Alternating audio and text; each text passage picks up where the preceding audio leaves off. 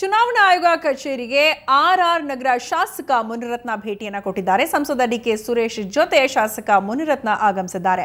R R ನಗರ ಚುನಾವಣೆ ಮುಂದೂಡಿಕೆ ಹಿನ್ನೆಲೆಯಲ್ಲಿ ಅಧಿಕಾರಿಗಳ ಜೊತೆ ಚರ್ಚೆಯನ್ನ ನಡೆಸೋದಕ್ಕೆ ಆಗಮಿಸಿದ್ದು, ಅಕ್ರಮ ವೋಟರ್ ಐಡಿ ಪತ್ತೆ ಪ್ರಕರಣದಲ್ಲಿ ಬಿಜೆಪಿಯ ಕೈವಾಡ ಇದೆ ಅಂತ ಈ ಸಂದರ್ಭದಲ್ಲಿ ಹೇಳಿದ್ದಾರೆ. ಕೆಲವು ದಾಖಲೆಗಳನ್ನು ಅಧಿಕಾರಿಗಳಿಗೆ ನೀಡಲಾಗಿದೆ ಅಂತ ಈ ಸಂದರ್ಭದಲ್ಲಿ ಡಿಕೆ ಸುರೇಶ್ ಮಾತನಾಡಿದ್ದಾರೆ.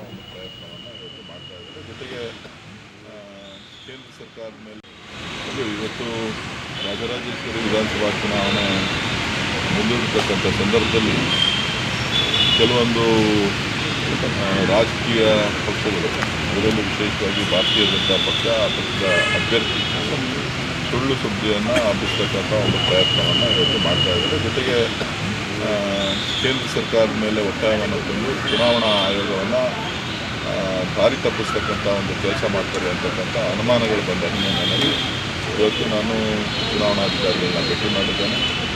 ವಸ್ತುಸ್ಥಿತಿ